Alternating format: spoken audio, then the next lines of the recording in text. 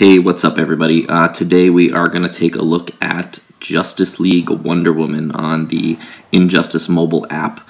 Uh, and in-game challenge mode right now does expire on February 3rd, so we're uh, a few days left to uh, pick her up if you haven't gotten her yet.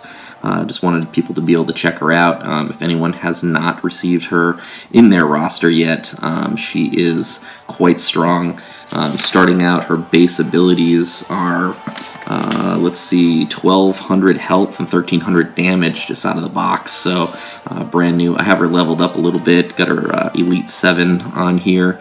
But if you take a look at her passive, which is pretty cool, when Wonder Woman activates a special attack or super move, uh, Justice League teammates receive power. So, uh, pretty neat if you have Superman, uh, Batman, Flash, Green Lantern, Aquaman, Martian Manhunter, Cyborg, or another Wonder Woman character on your team.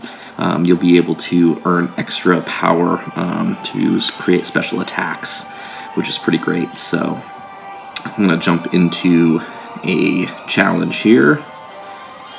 We'll start a fight and uh, see what kind of moves she has.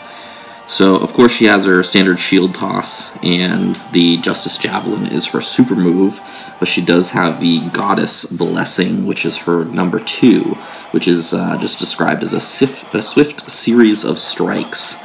So, I'm going to do her uh, super move first, let her get hit a couple times, it builds up power faster. But here we go. And anyone who's used Wonder Woman before is very familiar. Um, Basically, it's just a, another skin over this. Um, so we do have multiple Wonder Womans already in. So her number two really is the, the only new move. She's got a couple of regular strikes here, which are pretty nice.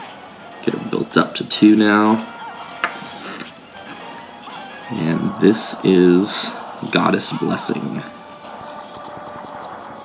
few moves in there and quite powerful too. Um, actually knocked out all three of my characters already, so I am going to have to start a second battle so that uh, I can show you other moves that she has.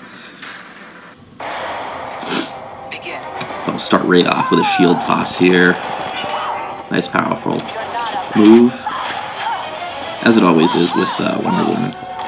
The only thing I wish is that uh, they would start adding some new characters to the roster. Um, we've gotten a few, uh, which has been nice, but, uh, you know, we got a lot of Batman, a lot of Wonder Woman, um, a lot of the Joker, uh, which are all great characters, but I'd really like to see something new, like uh, maybe Scarecrow or the Riddler, um, Penguin, um, some fun stuff like that. So uh, if you get a chance in the comments, uh, let me know who you'd like to see added to the roster.